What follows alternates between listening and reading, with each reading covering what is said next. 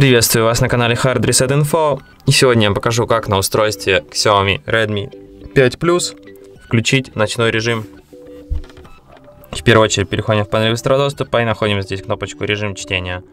Тыкаем по ней раз и можем переключать данный режим. Удержав на нем палец, можем открыть некоторые его настройки. К примеру, можем добавить для него расписание. Можем добавлять после заката, до рассвета, можем выбрать собственное время, и также можем здесь поменять его уровень, мощность этого режима.